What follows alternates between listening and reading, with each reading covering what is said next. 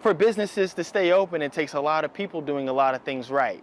I'm Terry Gilliam in Northeast Tallahassee, where Lofty Pursuits celebrates three decades of being in business. Oh God, it brings joy to me. It brings satisfaction. It brings pride. It brings like, you know, everybody is looking for a place in life. Some people are trying to control the world or anything else. I just want to be happy. Happy is what describes the Lofty Pursuits business in Tallahassee. Sunday, they celebrated their 30th year anniversary. It does not feel like 30 years.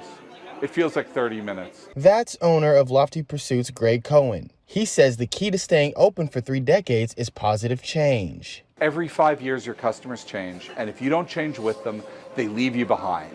So I change my needs when the customers need change. It's something that longtime Lofty's customer Jeff Mandel can agree with. He says the uniqueness is what keeps the business afloat. This is an archetypal small business, locally owned, one owner, not a chain, unique, and it's part of what gives our city its character.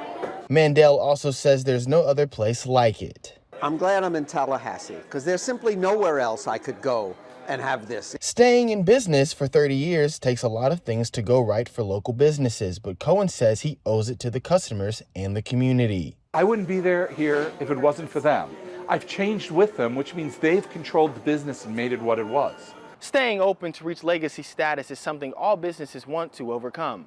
Today, it was Lofty Pursuits. In Northeast Tallahassee, Terry Gilliam, ABC 27.